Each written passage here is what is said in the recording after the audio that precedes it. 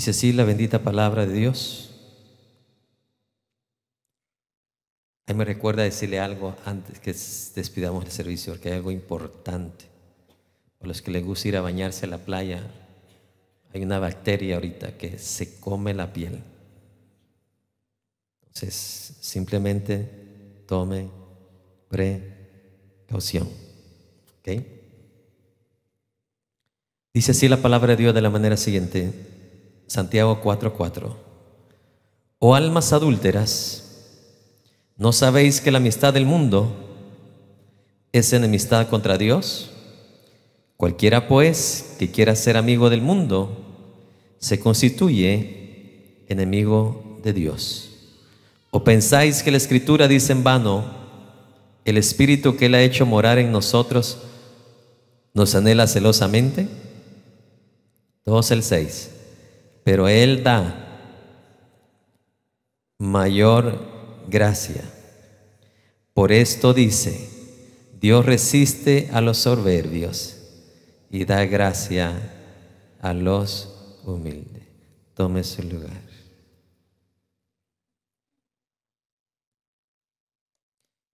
Este es uno de los pasajes que casi no se escucha en televisión, en radio. ¿No sabéis que la amistad de qué? Del mundo es enemistad contra quién? Imagínense cómo Dios llama a esas personas, aquí le dice almas, a esas personas que aman al mundo, ¿cómo la llama Dios? Adúlteras. En el Antiguo Testamento, usted encuentra otra definición que Dios Padre usó para Israel. Cada vez que Israel se iba tras los dioses ajenos, también les decía que adúlteros. Entonces está hablando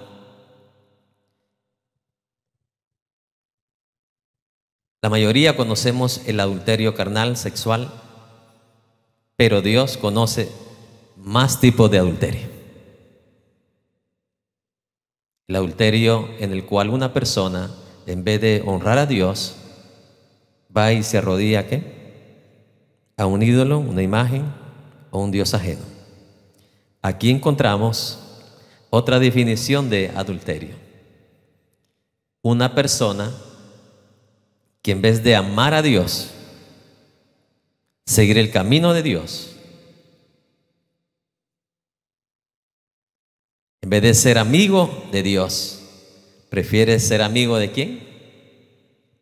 Del mundo. ¿No sabéis que la amistad del mundo es enemistad contra quién? Yo recuerdo cuando era niño, y voy a entrar aquí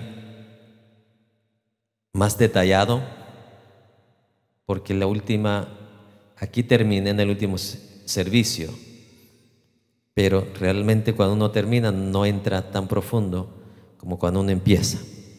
Por eso empecé de este último versículo. Recuerdo cuando era niño, escuchaba en las iglesias la definición del mundo. Y el mundo era jugar pelota. El mundo era, si usted pasaba por la orilla o en, o en medio de donde estaba la feria del, del pueblo, y si usted pasaba en medio de ahí, usted ya estaba, y usted ya era un mundano. ¿Qué otra definición del mundo escuché cuando era niño? Si se ponía una esclava de oro, usted ya era un mundano. Y no digamos si se la ponía en el cuello. Creo que a José le pusieron una, ¿verdad? Grandota en el cuello. ¿O no? Cuando fue coronado príncipe. A pobre José lo hubieran sentenciado a muerte los, los diáconos de antes. Le hubieran mandado unos 10 años de disciplina. Eso es lo que se conocía como mundo o mundano. Pero cuando estudiamos la palabra del Señor, nos asinceramos en ella, encontramos que el mundo no es una definición que yo le atribuyo como maestro, como pastor o predicador. Yo no tengo el derecho de poder decir, oh, esto es mundo, esto no, no. Es la palabra de Dios quien dicta, define qué es el mundo y qué no es el mundo. Yo pudiera tener 40 mil opiniones, pero si mi opinión no va de acuerdo a qué? A la palabra de Dios, de nada sirve. Entonces, lo que desde niño yo escuchaba como mundo no tenía ninguna base ¿qué? bíblica, fundamento. Y pero a eso ellos llamaban ¿qué? doctrina. Pero no tenía ¿qué? fundamento, no tenía base. Usted sabe que todo lo que no tiene base se, derrumba. No permanece.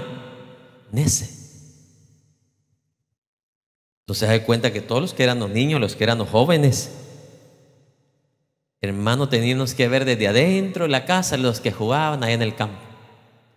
Porque si nosotros nos acercábamos al campo, era una cinchaseada que nos daban.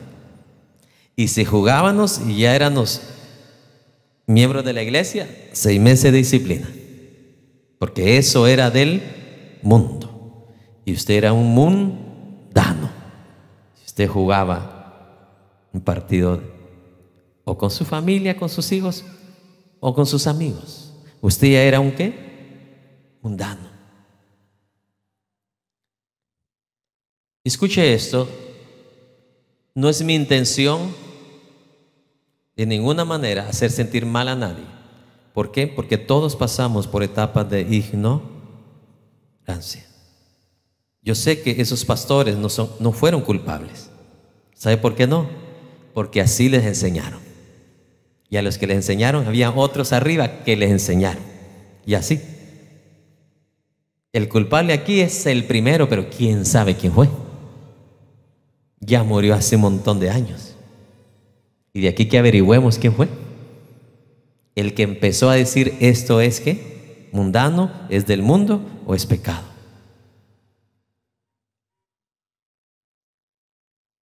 ¿Y por qué es necesario hablar de esto? Porque yo vi, yo observé a cuántos jóvenes adolescentes los mandaron a la calle. Porque prácticamente los querían tener como que fueran una persona de 60 años, bien aburridos. Y los que no son aburridos ya no pueden hacer las cosas que podían hacer cuando tenían 20 años. Pero los querían, nos querían tener prácticamente qué? Encarcelados. Y un día estaba viendo, porque no teníamos televisión, estaba viendo en una casa vecina por la ventana el Chapulín Colorado. Hermano, y Colorado me dejaron aquí atrás cuando sentí un cinchazo. No te he dicho que eso es pecado y que es del mundo y que es del día.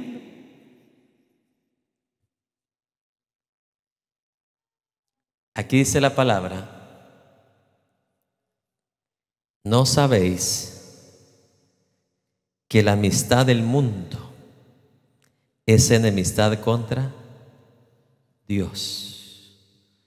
Cuando habla aquí del mundo, no está refiriéndose al planeta Tierra, no está refiriéndose a opiniones de personas, incluyéndome a mí, opiniones propias mías, opiniones de un predicador, así sea así haya sido el evangelista más reconocido de la tierra. Usted lo que tenía que escuchar era qué? La palabra de Dios.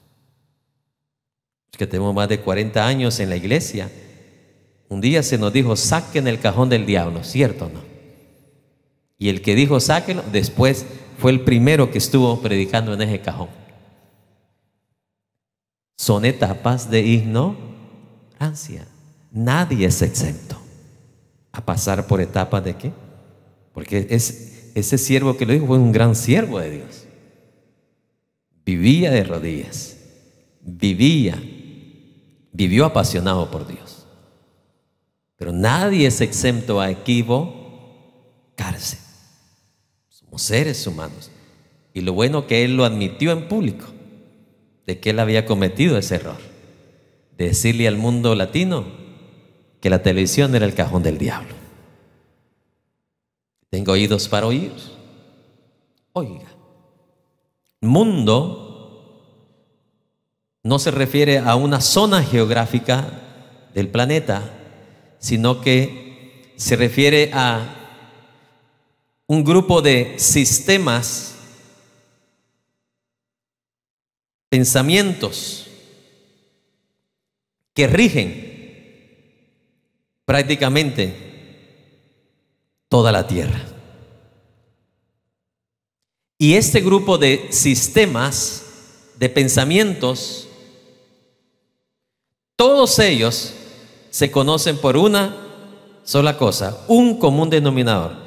Todos esos pensamientos, todo lo que existe en esos sistemas establecidos, ya sea en el deporte, en el gobierno, en la economía, en la política, todo ese grupo, grupo de sistemas o pensamientos, ¿cómo se conoce? Todos se rebelan contra Dios. Eso es lo que la palabra, eso es lo que Dios llama en la Biblia mundo. Todo ese grupo de sistemas, ideas, pensamientos, opiniones, argumentos, tienen un común denominador en toda la tierra. Se levantan contra el conocimiento de quién? De Dios. Eso es lo que Dios conoce como mundo. Y Dios nos advierte, no nos dice, nos advierte.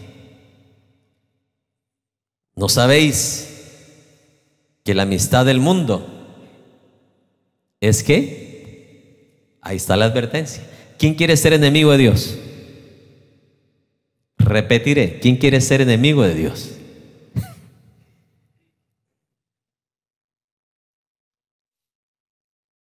Una cosa es que su vecino no lo quiera a usted y le haya dicho un montón de cosas y lo haya hasta amenazado.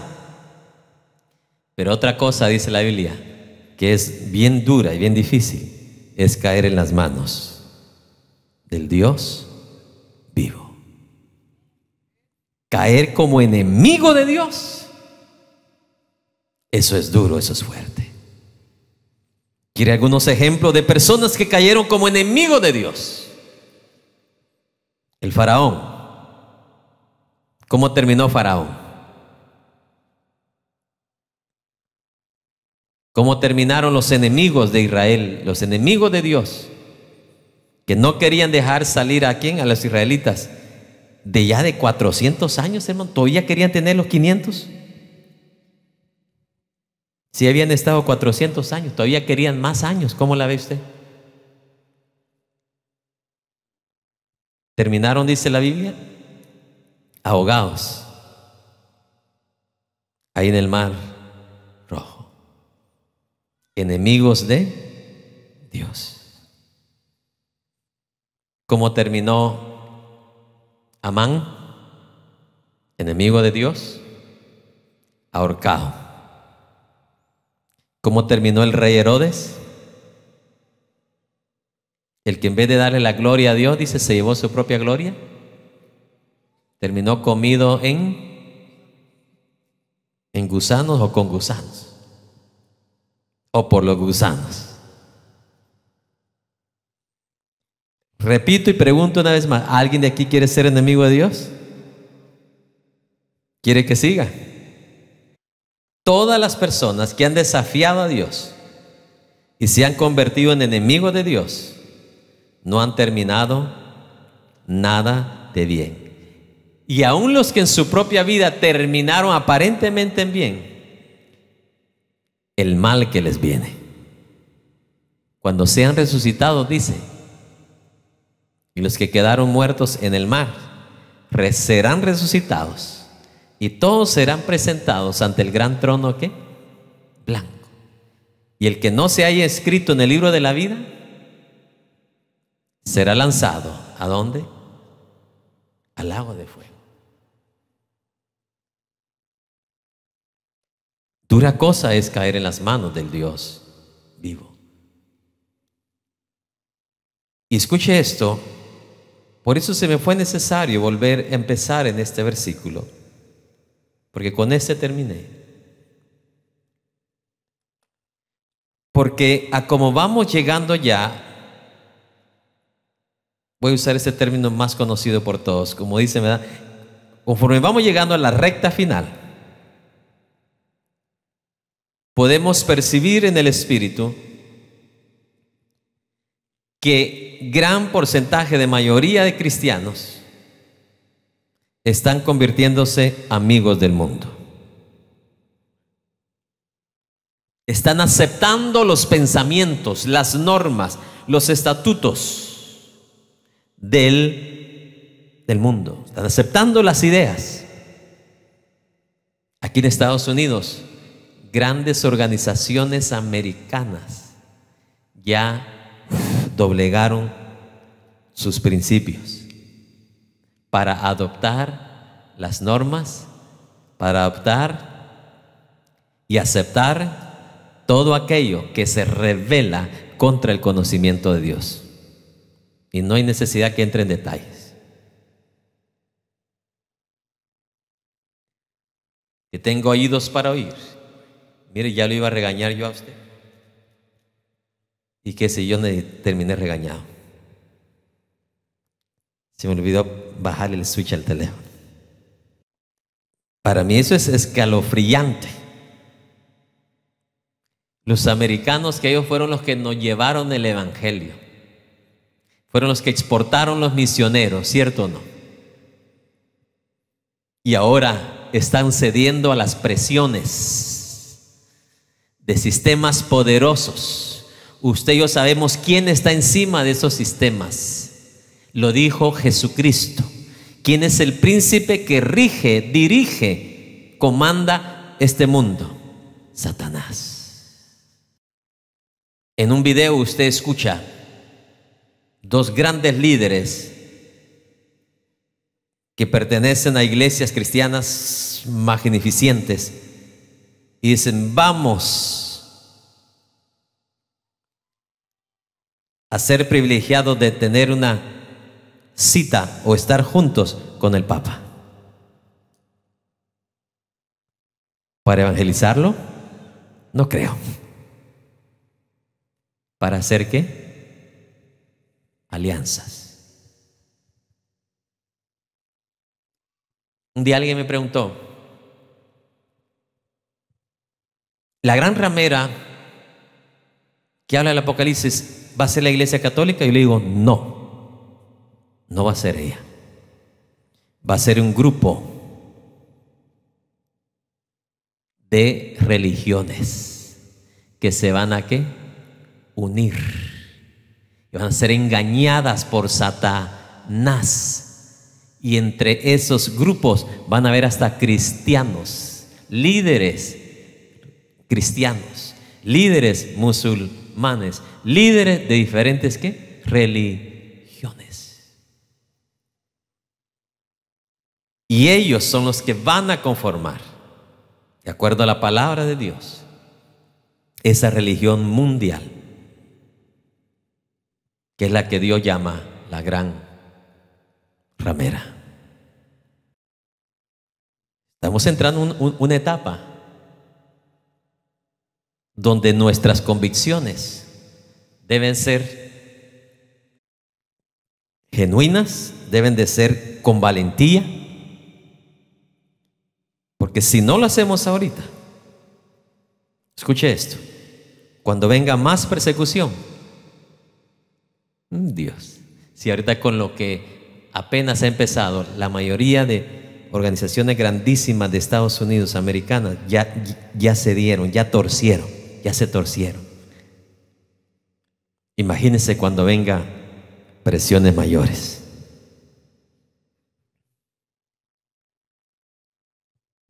Interesante lo que, lo que decía alguien, todos los discípulos del Señor, excepto uno, no se sabe cómo, cómo murió o cómo terminó sus días, pero todos los demás los mataron. Pero hoy estamos en un cristianismo, vivimos en medio de un cristianismo que no está dispuesto a sufrir por la verdad sino que estamos viendo un cristianismo que está cediendo a las presiones y está aguadando, está suavizando lo que la palabra nunca aguada ni suaviza. Dios, desde que se escribió este pasaje hace más de dos mil años, lo dice muy claramente, si usted ama acaricia, abraza al mundo. Déjeme decirle que aunque usted no lo admita, Dios está diciendo, usted es un enemigo de Dios. Es una advertencia. Aunque nadie la quiera que aceptar. Le testificaba, en una ocasión me invitaron a hacer una oración pública en un lugar de gobierno. Pero días antes de eso me llegó un papel con las restricciones de palabras que uno no puede decir para no ofender a cierto público. Pero ellos sí te ofenden en la cara y te restregan la cara. La palabra no ofende. Dice malas palabras, dice palabras vulgares la palabra.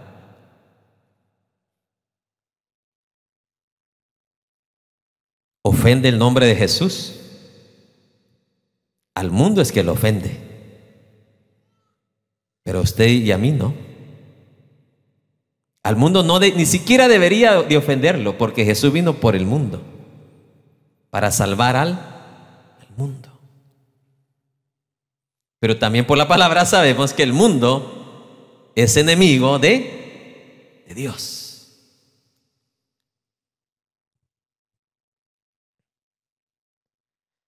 Dice, no sabéis, y por si no sabéis, dice, tener que saberlo. Que el que se hace amigo del mundo, de todos esos sistemas de ideas que van en contra de Dios, en contra del conocimiento de Dios, se constituye qué? Enemigo de Dios.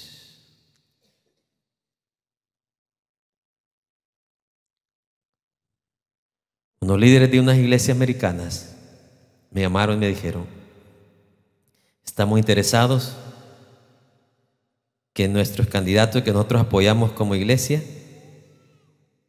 tú les des una oportunidad ahí en la plataforma, en el altar, para dirigirse al pueblo. Digo yo, primero me muero o me mata antes de subir un político aquí. A no ser que sea un hombre de Dios. Pero político para ganar votos, no. A lo aceptar si fuera, si fuera como usted, asistente acá. Pero no para venir, para ganar votos. El lugar santo no se presta para eso. Tengo oídos para oír.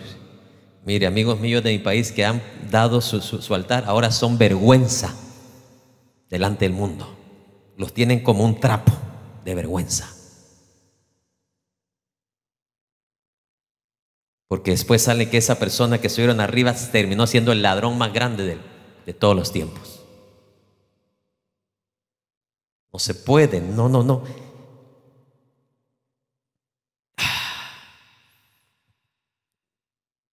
No va la política con, con lo puro de Dios. No sé si me explico.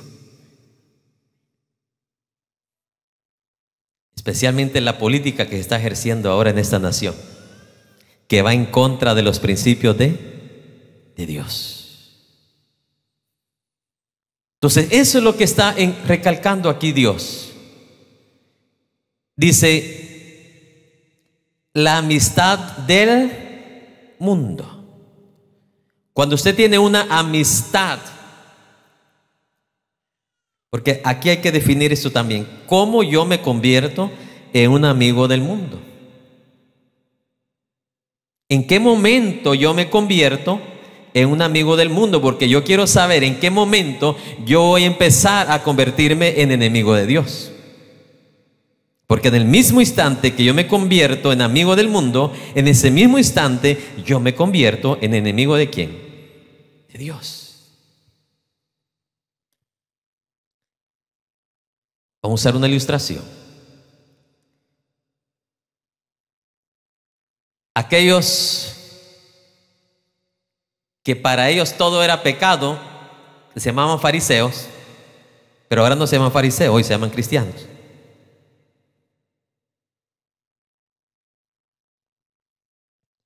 Escuche esto. Todo lo que, casi todo lo que hacía Jesús era pecado, era pecado, ¿cierto o no? No se lava las manos, era pecado. Y muchas cosas más. La Biblia dice que Jesús entraba y comía con santos o con pecadores. Pecadores. No va a malinterpretar, también comía con santos, con sus discípulos, ¿verdad? Que no eran tan santos. Pero comía con ambos. Pero ¿qué, le decían los fariseos? Este es un hijo del diablo. Porque come con pecadores. Escuche bien. El sentarse Jesús en un almuerzo, un desayuno, una cena con un pecador, ¿hacía a Jesús amigo del mundo? No. Porque amigo es cuando usted frecuenta a esa per zona, ya sea hablando o ya sea compar, compartiendo. Entonces, de ninguna manera en, el, en que Jesús se sentase a comer un desayuno, un almuerzo, una cena con pecadores, lo constituía a Jesús amigo del mundo, mas sin embargo los fariseos, que esos eran extremistas, el término que usan los cristianos es religioso. Pero la palabra religioso, basada en la palabra de Dios, es buena palabra. Un religioso, según la Biblia, es alguien devoto en lo que cree y fiel en lo que cree. Eso es lo que significa en la Biblia religioso. Pero ahora religioso le, le llaman a un exagerado, a un extremista. Son dos cosas diferentes. El extremista sí es extremista, pero el religioso, de acuerdo a la Biblia, es una persona devota, es una persona que cree en su propia creencia y es fiel a ello. Pero vamos a usar la palabra extremista para que se entienda mejor. Los fariseos eran extremistas. Miraban a comer a Jesús con los pecadores y ya decía que era un qué? Un pecador. ¿Basado en qué? En opi. Basado en opiniones, no basado en la, pa, en la palabra. Número dos, Jesús entraba y comía con los pecadores para compartir chistes picantes, vulgares. No. Dios le fue claro a Jeremías. ¿Y qué le exhortó a Jeremías? Tú tienes que convertirlos a ellos y que ellos no te conviertan a ti.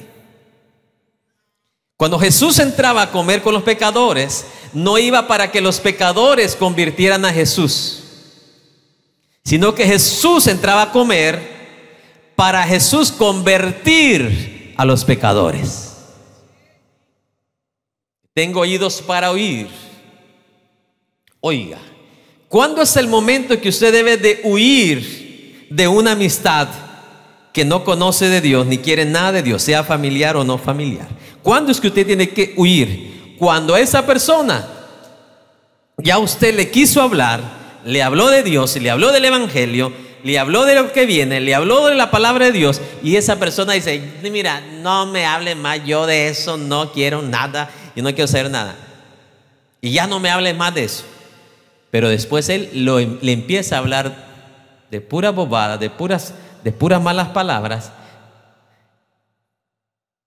para ver cómo es su reacción. Porque como usted no pudo, ¿qué? convertirlo, ahora el diablo va a usarlo a él para convertirlo a usted. Y si usted empieza por las muchas vulgaridades que él dice repetidamente, y luego usted empieza día después, semana después, hablar como él está hablando, déjeme decirle que aunque nunca llegue a ser amigo de esa persona, usted está siendo amigo del, del mundo. Porque ¿qué es el mundo? Es un sistema de ideas, de pensamientos que se rebelan contra el conocimiento de Dios. Aunque usted nunca llegue a ser amigo de esa persona, pero usted ya está empezando a ser amigo de quién? Amigo del mundo. Porque está empezando a hablar un lenguaje total desaprobado por Dios. Si no lo cree, lea los evangelios. Dice, de toda palabra cochina que salga de su boca, de toda palabra ociosa que salga de su boca, usted va a dar qué? Cuentas. Ay, pastor, se me salió. Pues vale que se arrepienta y que no vuelva a qué? A salir. Tengo oídos para oír. ¿Quiere otra ilustración?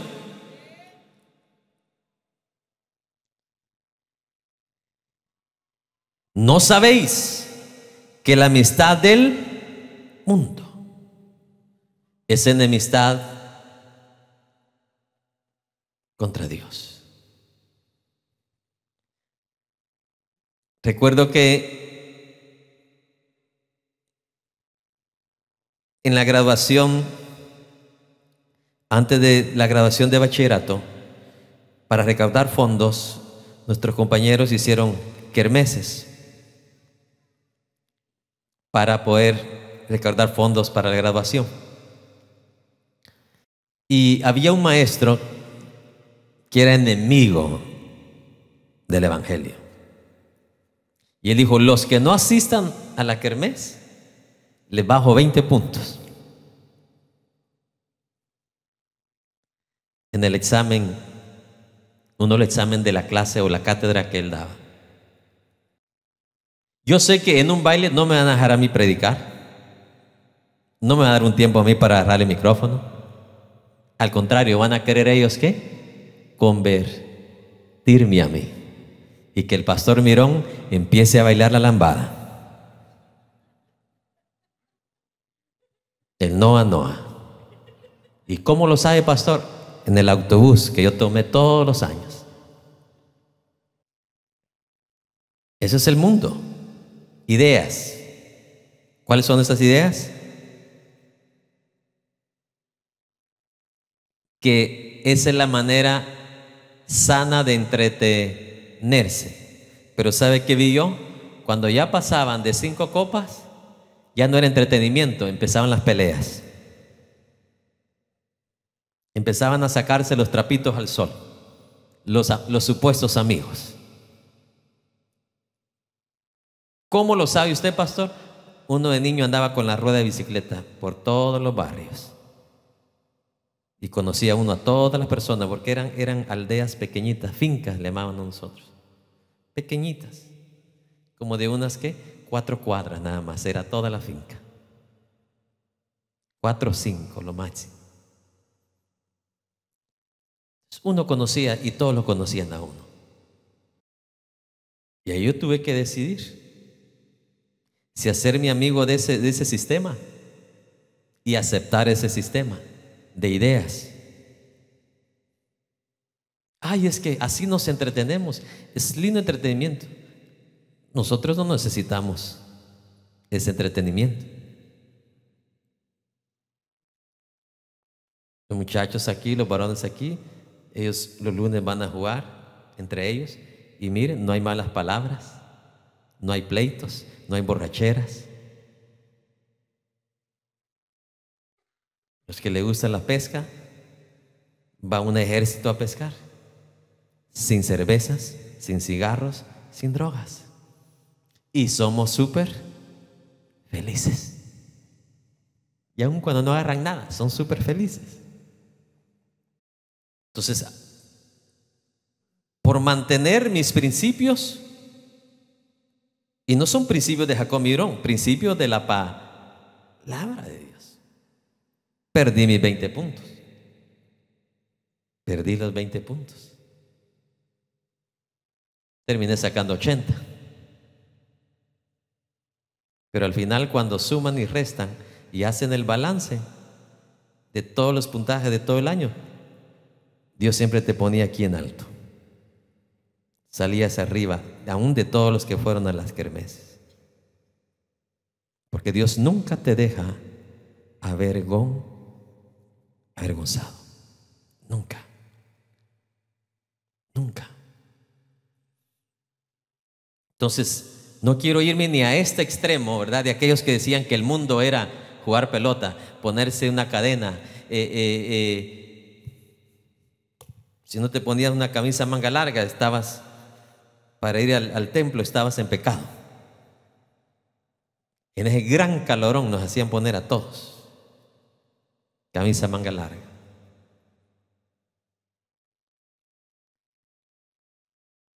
Mire, yo aún cuando voy a predicar en, lugares calientes, siempre me he visto así.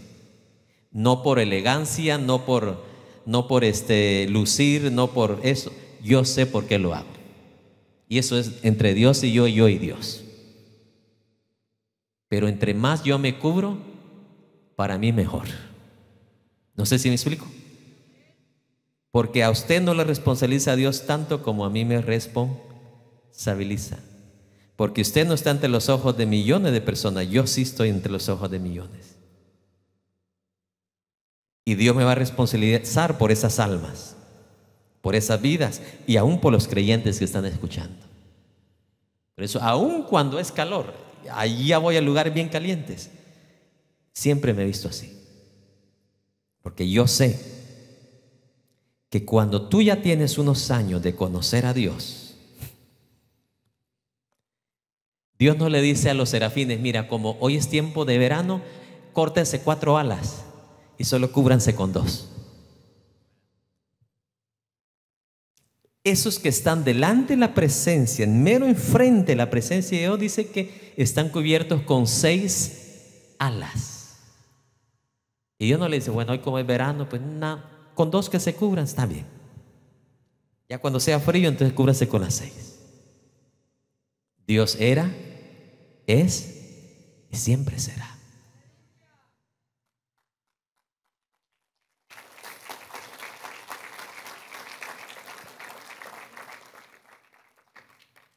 Pero no es un martirio, no es un castigo, sea como sea. Más castigo recibió el maestro. Más sufrimiento recibió él. Y no voy a parar de aguantar un calorón. Tengo oídos para oír ni podemos irnos a ese extremo, ¿verdad? De exagerarlo todo. Pero tampoco podemos irnos al otro extremo del libertinaje, donde muchos, creando sus propios contextos, dicen, ya Dios me hizo libre y puedo hacer lo que yo quiera. ¿Cómo está eso? Al contrario, la palabra nos advierte severamente que Dios no nos dio libertad para caer en qué? En libertinaje. Para hacer lo que la gana nos. Eso es libertinaje, hacer lo que uno quiera. El que Dios te hizo libre, no te hizo libre, escuche bien, aquí donde está la mala interpretación. ¿Te hizo libre de qué? ¿O para qué? Si Dios te libertó, te libertó no para hacer lo que quieras, te libertó de las cadenas. Por eso se le llama libertar. O fuimos libres. Porque estábamos encadenados. ¿Y Cristo nos hizo qué? Y ahora que somos libres, mire, un preso que sale libre, ¿sale a hacer lo que la gana le dé? No. Si él vuelve a hacer lo que la gana le dé, vuelve a la cárcel. Vuelve a ser encadena. Si Dios a través de Jesucristo nos rompió las cadenas para ser libres, no es para que, que hagamos lo que queramos. Si Cristo nos libertó, ahora le pertenecemos a Jesús y debemos de hacer lo que Jesús diga. No lo que alguien diga, no lo que alguien opine, sino, por eso se le llama el Evangelio, no del pastor, se llama el Evangelio de Jesucristo. El apóstol Juan definió algo especial acerca del mundo. Y dijo, porque en el mundo existen estas tres cosas. El deseo de los ojos, el deseo de la carne. Pareciera casi lo mismo, ¿no? El deseo de los ojos con el deseo de la carne. Pero no, no, no, no es lo mismo. ¿Cuáles son las obras de la carne? pleitos, iras, contiendas, envidias, enojos, enemistades. Esas son las obras de la carne. Y esta dice, son las que habitan en este qué? En este mundo. Los deseos de los ojos, que es lo que uno ve, no para bien, sino para qué? Mal. Porque mirar con los ojos no es malo, no es pecado. Cuando la palabra de Dios dice el deseo de los ojos, está hablando todos aquellos deseos que los ojos desean, no para bien, sino para qué? Para mal. Usted va caminando al lado del rancho y usted ve un marañón bien madurito lo ve con los ojos. Y usted lo desea porque ya lo vio con los ojos. Le voy a tirar una piedra, un garrote. Y si cae adentro, pues me meto por debajo del alambrado. Pero usted está deseando que caiga afuera. ¿Es tuyo ese marañón? ¿Ya le pidió permiso al dueño? Deseo de los ojos por lo que sus ojos están viendo, no para bien, sino para hacer qué? Lo malo. El deseo de la carne es todo aquello que nuestra naturaleza humana anhela bajo el mismo contexto, no para bien, sino para qué? Para mal. Le dan ganas a veces de regresar a la lambada o al Noa Noa esa es una obra de la carne. Manifestación de la carne que habita e impera en este sistema del mundo que te dice, anda, ve, relájate, disfruta. Pero cuando se matan ahí, se queda callado el diablo. Mientras que Dios nos advierte de antemano y te dice, el día que comas, de lo que es para mal, ciertamente que el diablo no, el diablo no te va a decir eso. Y le va a decir, hazlo, disfruta, eh, ve, tírale el, palo al, al marañón, córtalo.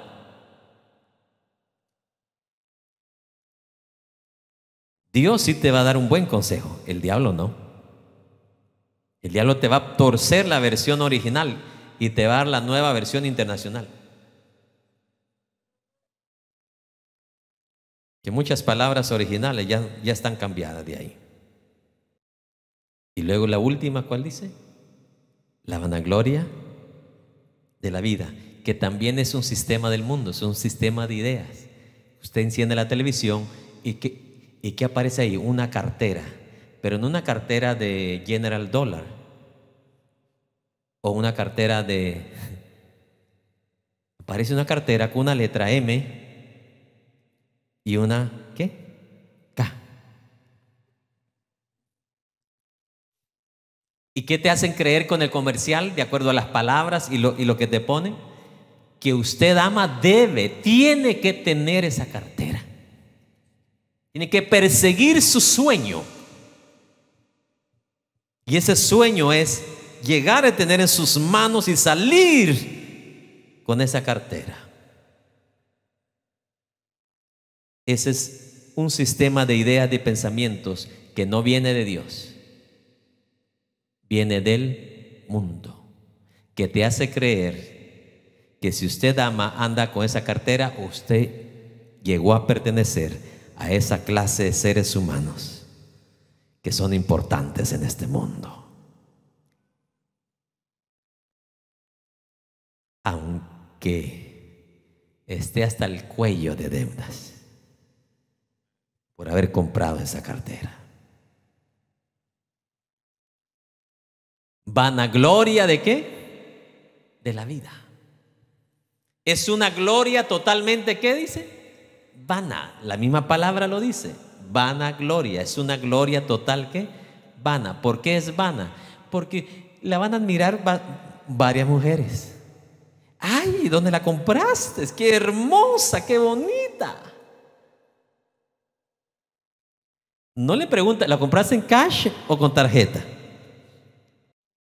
No le pregunta, ¿te va a sobrar después de que pague la renta?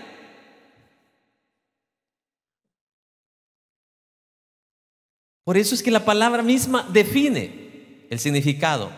Vanagloria, es una gloria totalmente que vana. ¿Por qué gloria? Porque vas a recibir reconocimiento. Eso es gloria, un reconocimiento. Cuando usted bendice el nombre del Señor, alaba el nombre del Señor, usted está glorificando a Dios, usted le está dando su reconocimiento. Pero la vanagloria es esa gloria vana. ¿Por qué es vana? Porque no tiene ningún valor. El único valor que tiene es ese valor temporal que el mundo le da a través del engaño.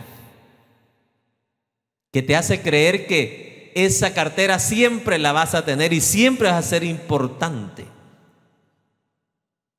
Ya cuando tengo 80 años ya ni, la cartera va a aguantar. Por eso se le llama una gloria totalmente ¿qué? vana. Y no es un pensamiento de Dios, es un pensamiento del, del mundo que te hace creer que por eso tú vas a llegar a ser más importante. Mire, no se sienta mal y no, la, no esconda su cartera, usted que la tiene ahí. Usted ya la compró, eso ya pasó y, tranquila. ¿Sí me explico? Acabo hay tiendas que las traen de China y que las venden a 10 dólares, no hay problema. Usted no gastó mucho con 10 dólares. El problema es que haya pagado 800 dólares, mil y pico. Ahí sí Dios le va a responsabilizar. Porque ni se atreva a decirle a Dios, Señor, bendíceme, bendíceme. No, no, no, no, no, no. Sí, porque como le hacen caso un montón de, de esos ladrones que andan diciendo, usted es hijo de Dios y usted tiene que andar de lo mejor. Oh, sí.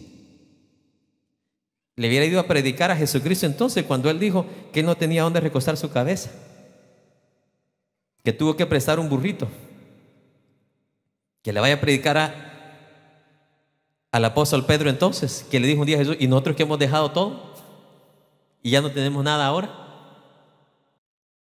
Le hacen caso a, ese montón de ladrones, como ellos sí se embolsan cantidades de, dinero y le hacen creer a la gente que ellos también van a tener llenas las bolsas igual que ellos. No.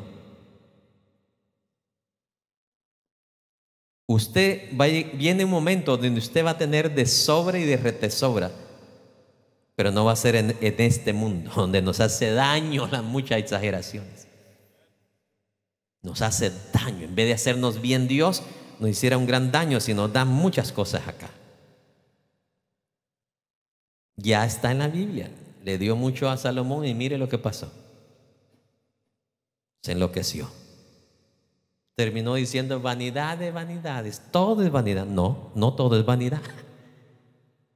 Pero así es ya cuando alguien es como un niño, mire, que tiene 200 juguetes. Lo mismo va a decir que Salomón, vanidad de vanidad, yo no quiero, ya mejor cómpreme otro. Tenía demasiado.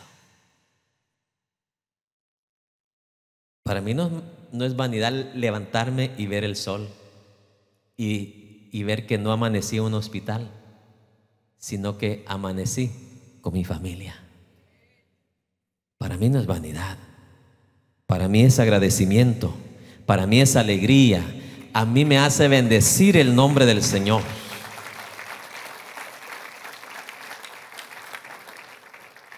¿Y por qué está escrito eso en la Biblia, pastor? Para que usted entienda cómo llega a pensar un hombre que aunque empezó bien, después uno puede terminar hasta delirando. Por eso Dios lo pone, Dios, Dios pone nuestras virtudes como también puso qué? Su flaqueza ahí. Para que entendamos la naturaleza del ser que humano. Hubo un hombre muy sincero en la Biblia que dijo, Señor, no me des mucho. Porque sé que si me das mucho me voy a olvidar de ti. Pero tampoco no me dejes tan pobre, dijo. Porque no quiero andar robando, dijo. Bien sincero. Y si usted lo analiza, es una gran verdad. Tampoco queremos andar necesitado, necesitado, necesitado. La Biblia dice que Dios bendice, ¿cierto? Dios bendice. Pero la realidad es, y como pastores nosotros lo hemos visto por varios casos, muchos casos, hombres que cuando ganan mil a la semana ahí están en la casa de Dios, fieles. Dos mil, ahí están fieles. Pero empiezan a ganar cinco mil, diez mil, quince mil a la semana. Desaparece. Desaparece. ¿Y por qué será, pastor?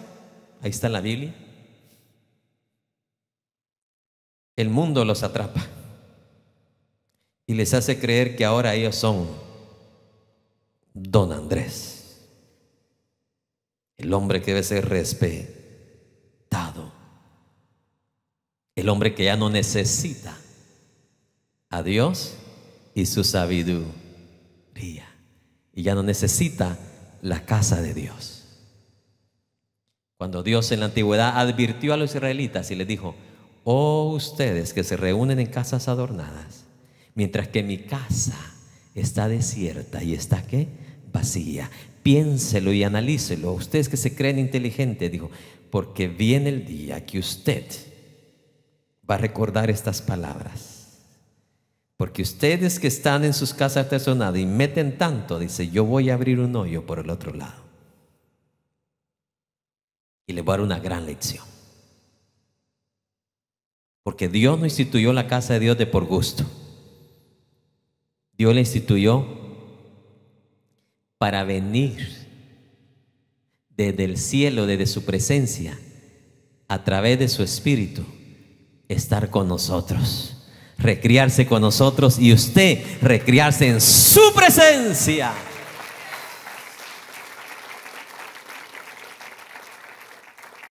Vamos al versículo 5 para terminar. ¿O pensáis que las escrituras dice en vano, el Espíritu que Él ha hecho morar en nosotros nos anhela, ¿qué dice? Celosamente. ¿Sabe qué está queriendo decir? Tú ya tienes al Espíritu de Dios en tu vida. Y tú vienes y te haces, ¿qué dice? Amigo del mundo. Escuche esto. Es parecido como cuando una madre invirtió todo en sus hijos y luego sus hijos o uno de sus hijos viene y le hace caso a cualquier muchacho que ni los pantalones se puede subir a la cintura. Y ese muchacho que en una semana le cambió el pensamiento a, esta, a este hijo o a esta hija. Lo que a la madre le costó 18, 19, 20 años. ¿Sabes qué está diciendo Dios aquí? Que cuando tú ya le perteneces a Dios, Él te anhela. No con un celo de ese celo malvado. No sé si me explico. Sino de ese celo en el cual Él anhela. Te anhela, te anhela, te anhela tanto y te ama tanto y, y desea tanto lo mejor para ti que cuando ve de que tú empiezas a tener amistad con el mundo,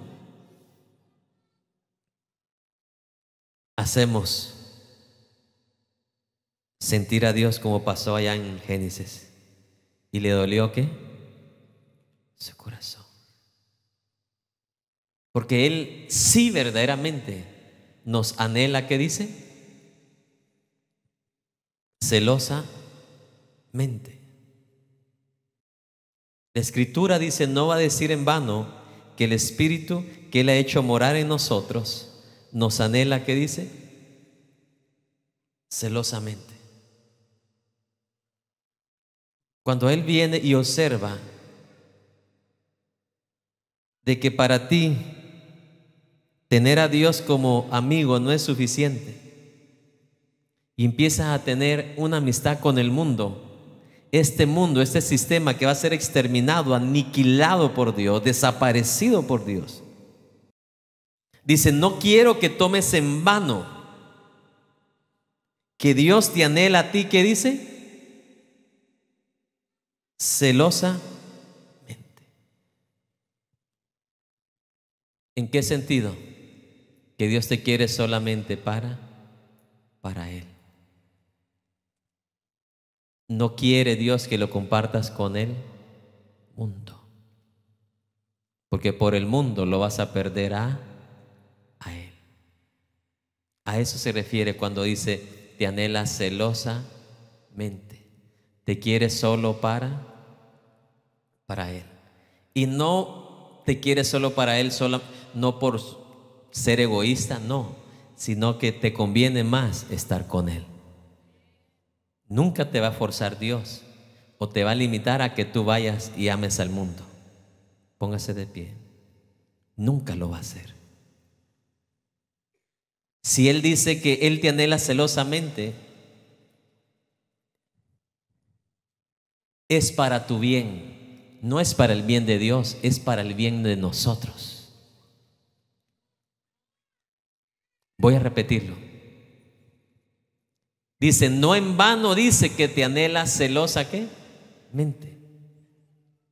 No en vano te quiere solamente para Él, no por ser egoísta, no por ser egocentrista, solo, solo para Él, solo para Él. Que si lo cambias, la desgracia vendrá a tu vida. Los desastres vendrán a, a tu vida. ¿Qué pasó con Absalón cuando en vez de escuchar los buenos consejos, escuchó los malos consejos? Vino la desgracia a su vida. Porque la amistad del mundo es enemistad que para con Dios. Entonces Él no por gusto y no en vano va a decir que te cela celosamente.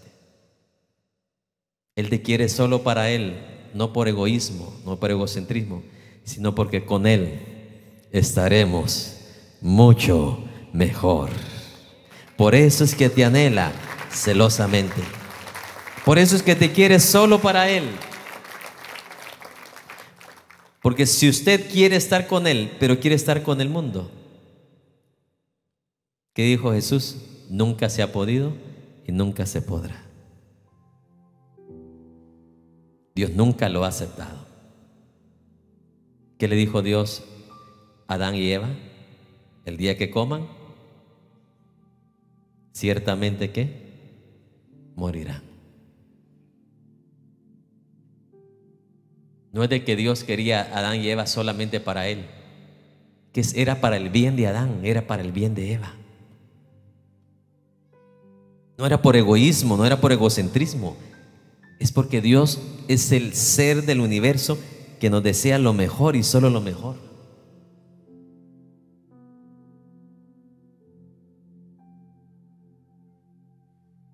El momento que para ti el mundo es más entretenido o es mejor o es más interesante, Dios no te lo va a impedir. Pero sépalo, que con Dios estaremos mejor. Sépalo que ya la historia bíblica de hombres y mujeres que se apartaron de Dios y anhelaron malas cosas del mundo, no les fue absolutamente qué? Nada, absolutamente nada, nada de bien. Me cuesta a mí terminar con esta clase de versículos. ¿Sabe por qué? Porque viene en mi mente todos los amigos que crecieron conmigo en la primaria, en la secundaria, en el bachillerato, en el colegio. Se me viene a mi mente todos los que se apartaron de Dios o todos los que nunca quisieron nada de Dios.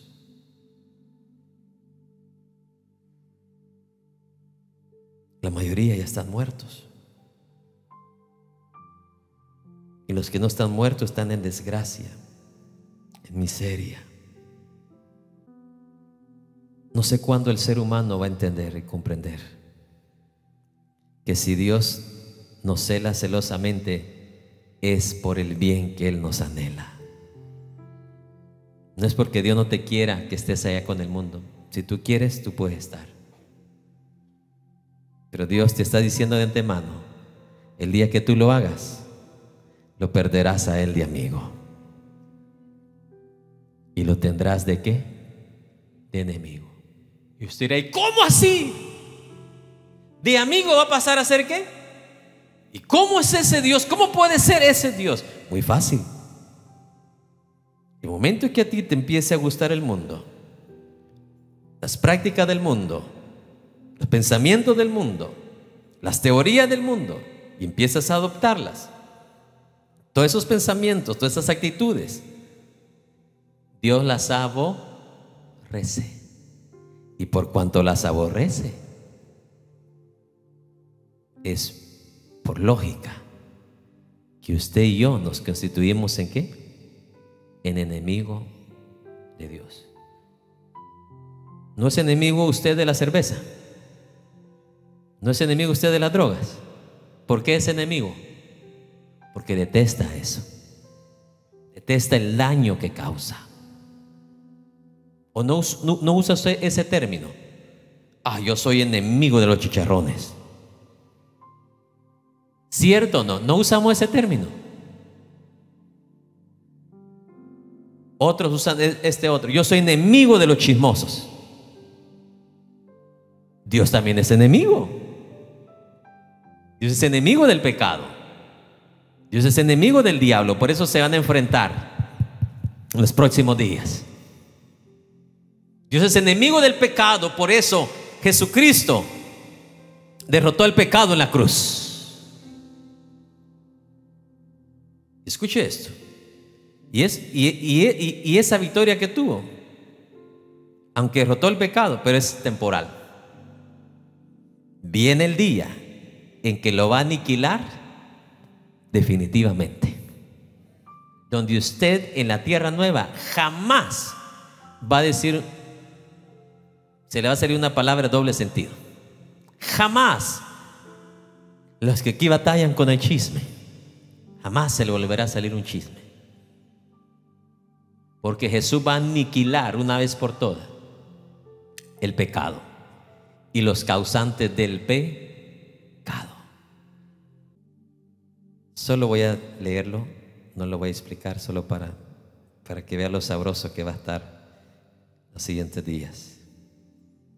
Pero Él da, dice, mayor que gracia.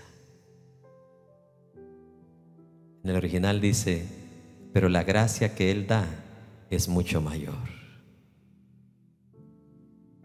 Pero la gracia que Él da, ¿qué dice? es mucho mayor. Y esta es la razón por la cual dice, Dios se opone al orgulloso, al arrogante, pero al humilde Él le da gracia. Al humilde Él le da qué? Pero la gracia que Él da, dice, es que grande. Sabe que está llegando el tiempo en el que el mundo está abriendo los ojos y se, da y se está dando cuenta que la gracia en una persona vale más que el dinero que tenga una persona. Sabe que si yo voy a hacer un negocio con alguien, si yo en esa persona no veo un poco de gracia, muy difícil termino haciendo el negocio. Si lo veo con arrogancia, que actúa con arrogancia, prefiero esperarme buscar otra persona otra compañía.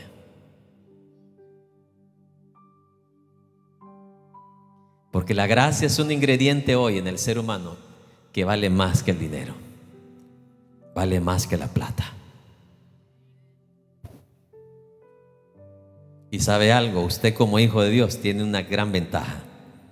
Dice que la gracia que Dios da es mucho mayor.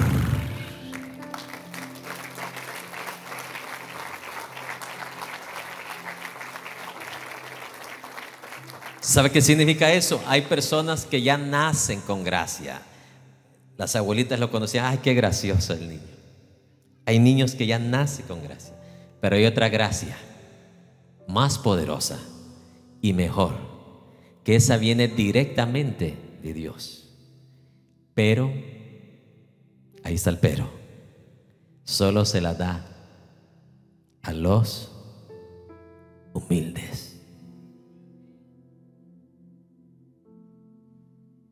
Voy a repetir.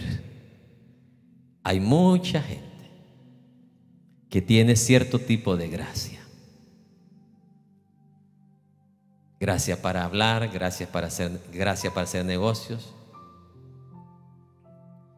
Pero hay una gracia que sobrepasa y sobresale las demás gracias. Y esta gracia viene solamente de parte de quién? De Dios y la imparte no a todos, no a todos los creyentes, solamente la imparte a quienes? A los humildes. Y usted me preguntará, ¿y por qué a nosotros no? Si es humilde, sí. Pero en general, ¿por qué no a todos los cristianos? ¿Por qué solo a los humildes? Eso sería discriminación, ¿verdad? Bueno, se lo voy a ilustrar. Si usted fuera patrón de su compañía, aquí dice que Él da gracias solamente a quién? A los Si usted siente su corazón al final de año, al principio de año, dar bonuses, ¿usted le va a dar bonuses también a los haraganes que no hicieron nada?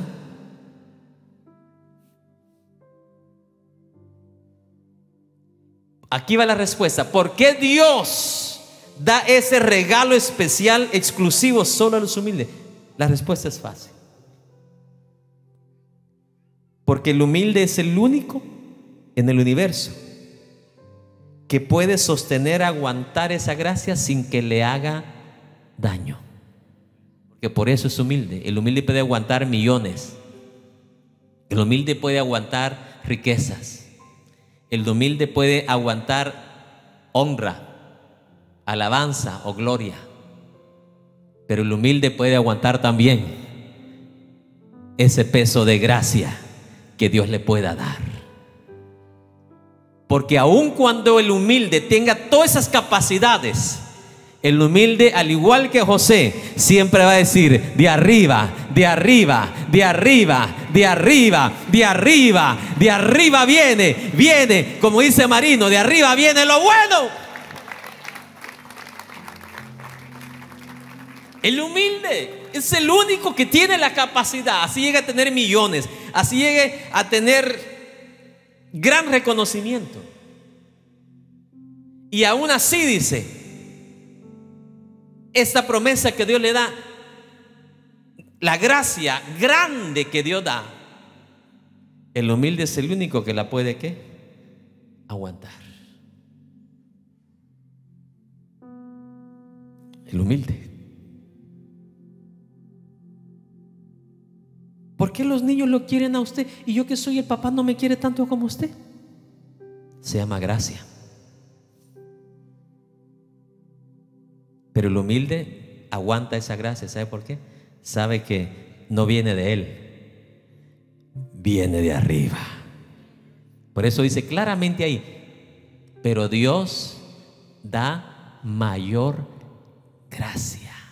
O la gracia que Dios da, dice, es mayor, más grande, dice en el original, más grande. El humilde es el único que va a reconocer cada vez o cada oportunidad que esa gracia no es de él. Dios se la dio. Dios se la dio. que va a estar sabroso lo que viene. Someteos pues, dice, a Dios, resistid al diablo y él huirá de vosotros. Padre, te damos gracias en esta hora. Gracias por tu palabra.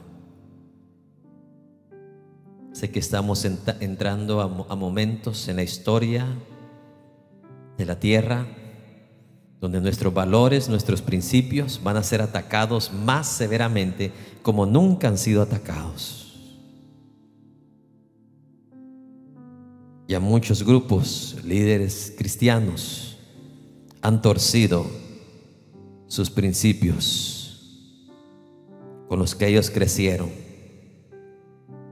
Aquí en Estados Unidos muchas organizaciones, aún de las más grandes, han cedido a la presión y no les ha importado convertirse en enemigos de Dios. Que eso es doloroso, eso es triste. Porque sabe qué está pasando con esas organizaciones. Sus templos están quedando totalmente vacíos. Son los que más se venden templo de los más antiguos, de los primeros que estuvieron acá. Trajeron la gloria a esta nación. Pero han sucumbido por temor, por miedo, por lo que sea, ante las presiones del mundo. Los que tienen años acá saben que en esta ciudad querían suprimirnos a nosotros, los predicadores. Querían callarnos y someter nuestros mensajes al gobierno antes de salir al aire. Y gracias a Dios que en este estado todavía tenemos un gobernador que vela por los derechos de los hijos de Dios. Hay estados, en otros estados de Estados Unidos, que los gobernadores parecen como que fueran delegados directos del diablo. Hoy más que nunca debemos de volver a los fundamentos, a la palabra. Usted va a tener que decidir o ser amigo de Dios o ser amigo del mundo. O usted va a tener que decidir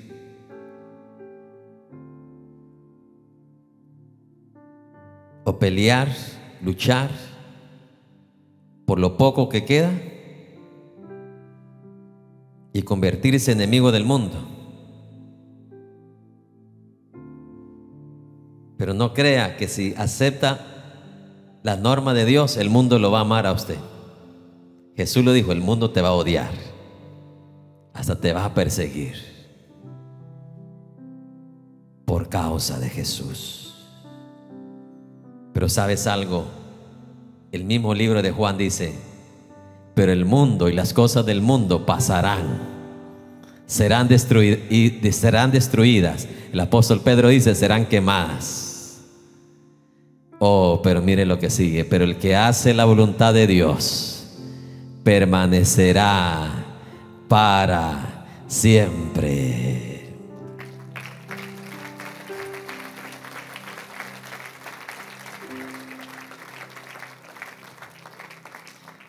Yo ya perdí varios amigos ministros por no torcer mis valores bíblicos.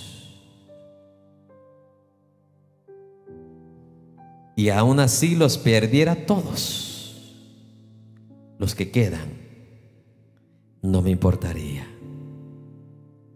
Porque sé que el fiel amigo que dice la Biblia te va a recoger te va a dar la mano. Aunque padre y madre te dejare, ¿qué dice? Con todo eso, Dios te recogerá.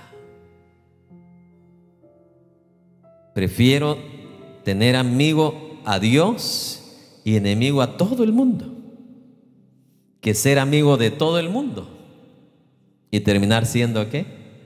Enemigo de Dios. ¿Cuál de los dos nos conviene, hermanos? Pero sabiendo que siendo amigo de Dios vas a terminar qué? Siendo qué?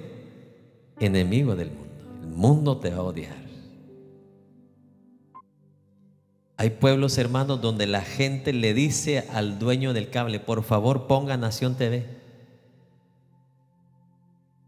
Y el dueño del cable dice, no, no. La gente pidiendo para que se dé cuenta cómo Satanás, cómo el mundo agobia a una persona que aún la gente pidiendo Nación TV, el dueño todavía persiste. Y uno de ellos es en mi pueblo donde yo nací. Sigo predicando porque Dios me habló me abrió las puertas dentro de esa misma cadena, pero a través de alguien más. Pero directamente de él, 24 horas. Dijo, no. Porque como nosotros no nos alineamos al mundo, por eso es que batallamos más y sufrimos más y aguantamos más. Imagínate lo que le pasó a Jesús. Las multitudes querían que Jesús se alineara a ellos. ¿Cierto o no? ¿Qué querían en cada, en cada, en cada día las multitudes? Milagro, milagro, milagros, milagros. Cuando Jesús deja de hacer milagros y empieza a dar sus enseñanzas, la gente mejor que se empezó a ir. Eso ya lo sabía Jesús. Pero ¿por qué aún así hizo los milagros? Para que nadie dudara de que Él es el Todopoderoso, de que Él es el Mesías, de que Él es el enviado de Dios. Los judíos no iban a aceptar a alguien como Mesías si no venía con el poder de Dios. ¿Por qué aceptaron a Elías como profeta de Dios? Por el poder de Dios en Elías. ¿Por qué aceptaron a Moisés como ¿Por qué los judíos aceptaron a Moisés como profeta de Dios? Por los grandes milagros que Dios hizo a través de Moisés. Entonces no iban a perder el tiempo a escuchar a Jesús y Jesús no venía también con, con el poder de Dios. Por eso es que los hizo. No porque la gente lo merecía. O no porque para eso vino Jesús. Jesús vino, dice claramente, vino a, sal, vino a buscar y a salvar lo que se había perdido. A eso vino Jesús. De las enfermedades, mire, nos ayudan a nosotros a acercarnos cada día y a depender cada día de quién? Dios. El que está sano apenas ora, apenas ayuna. El que está enfermo ora y ayuna.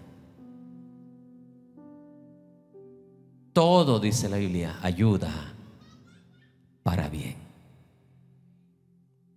Dios tiene el poder para hacerlo. y lo hace, pero no como yo quiero o como usted quiere, sino como Él desea y cuando Él desea. Yo todavía uso lentes. Y creo que en el día que el Señor nos lleve estos lentes ya no los voy a necesitar.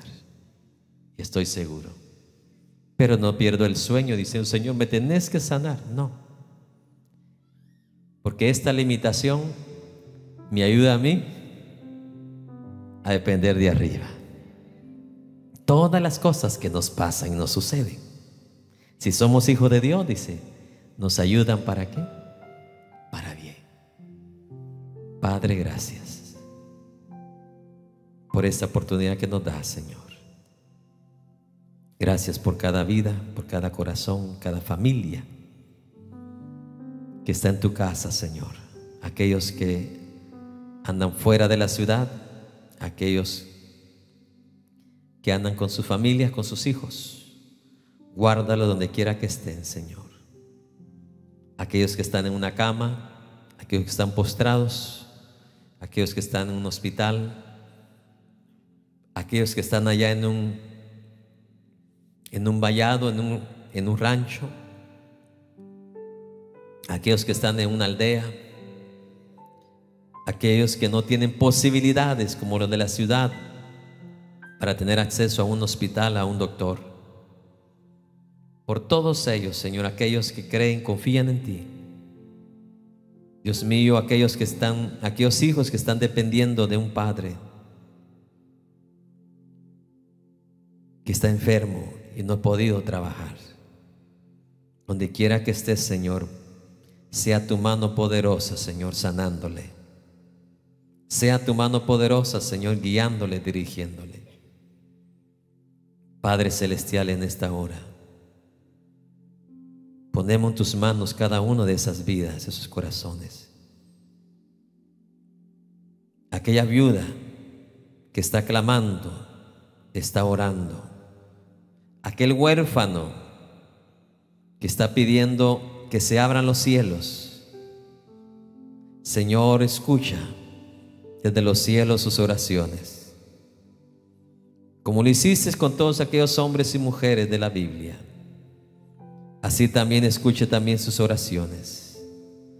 Sabemos que no podemos exigirte, pero sí la palabra dice que como hijos podemos venir confiadamente delante de ti.